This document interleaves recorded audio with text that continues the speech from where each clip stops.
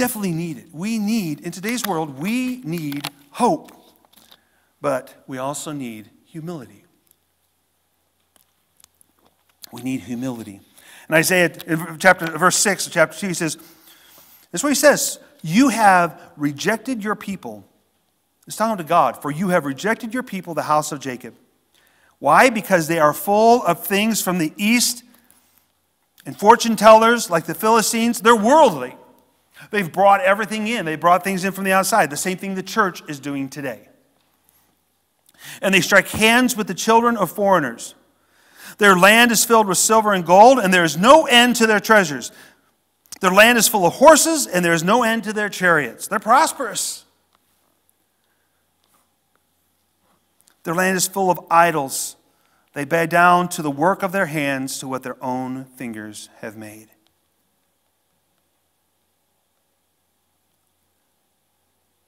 The Israelites were full of pride.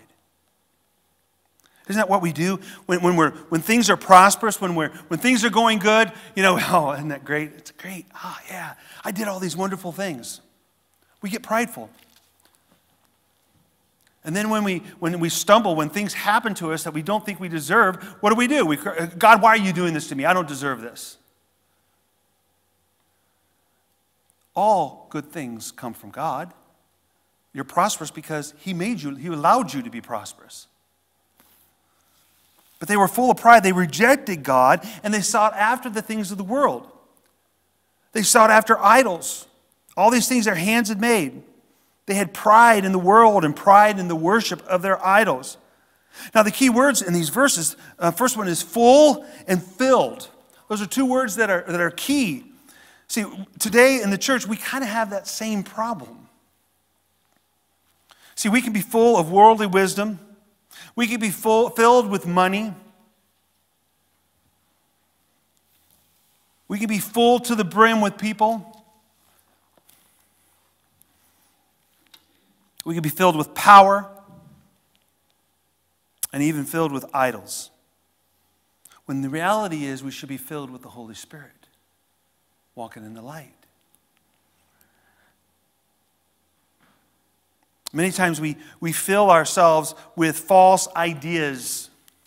As, I'm, as I've been studying and doing a lot of watching of um, what I would call um, mainline I wouldn't call them progressive because that's a whole other story, but a whole other line of trouble I've been studying. But mainline churches that are, that are seeker sensitive, they're, they're full of human false ideas and ideals and comforts.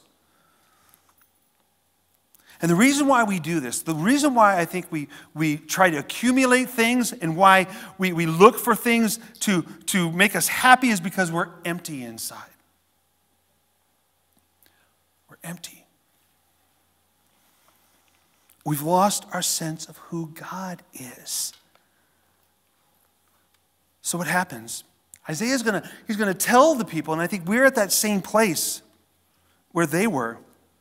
Maybe not in the same way. I mean, I don't think we, we don't bow down to idols. Well, we do. Maybe not physically, but I think emotionally and mentally we do. But he's going to tell them what's going to happen in verse 9, he says, So man is humbled, and each one is brought low. Do not forgive them. I read that, I read that a couple times. I'm like, what is he saying? See, when, when, we, when we fill ourselves up with everything but God, we're not truly going to be enriched.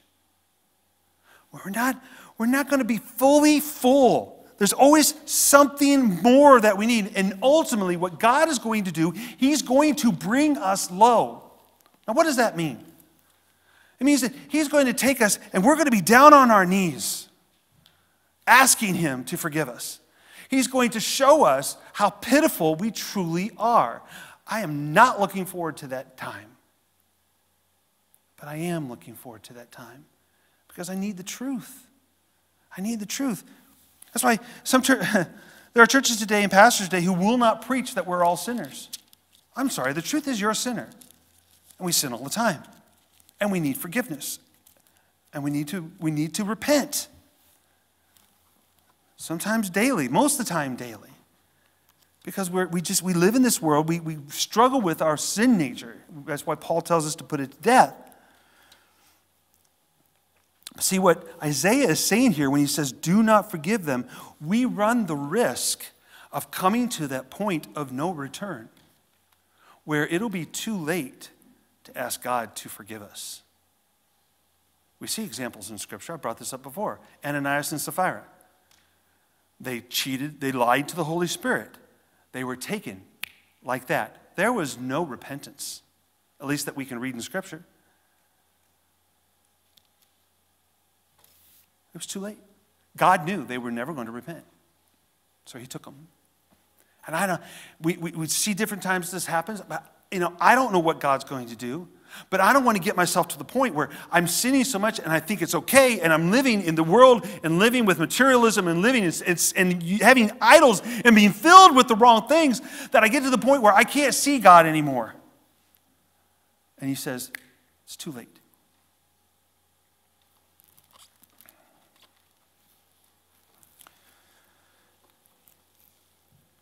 See, when we're filled with so many wrong things, so many empty things, forgiveness becomes unthinkable. That's why he brings us low. He says, I'm going to I'm going to take you to the lowest spot so you realize how much you need me. That's your last opportunity to see me and come to me. Lay your burdens on me, I'll carry them for you. And I'll lift you up after I bring you low if you turn to me. But see, the, the time comes where it may be too late. And it's not that God doesn't still love, I mean, I'm sure God still loved Ananias and Sapphira. He still loved them. But see, the problem is, is when we're at that point, if, if we turn from God and if He pours out blessings upon us, what are we going to do? We're going to turn that back into self salvation. Oh, God's blessing me, so I guess I got to go to Him. No, we will say, ah, look what I did. See, it's proof. I didn't need God, I did this on my own. So God doesn't pour out his blessings on somebody who is that unrepentant and never going to repent. And you say, well, wait a minute, Pastor, what about these people who are rich? I'm not sure what God's doing. All I know is what the Word says. God does things that I can't understand and I can't fully explain and fathom. What I do know is is that He's going to bring us low. And we must repent. We have to be emptied of the fullness of ourselves. That is so easy to be full of ourselves. I, I, I, struggle with that. I struggle with being full of myself. I'm, I'm pretty good with computers. I, let me say it this way I'm probably better than most people with computers. I can figure stuff out pretty easily. You know what he did to me this week? He made me forget a password. I still can't remember it. For the life, and I've tried every password in my brain, and I can't find it. So, what's he telling me? He's telling me, you're getting a little too full of yourself. I still, I'm still learning that lesson. But we have to empty ourselves of the fullness of ourselves in our lives. And then, then that's the only time we really can witness the greatness of God when we are helpless against his judgment and he is restoring us by grace.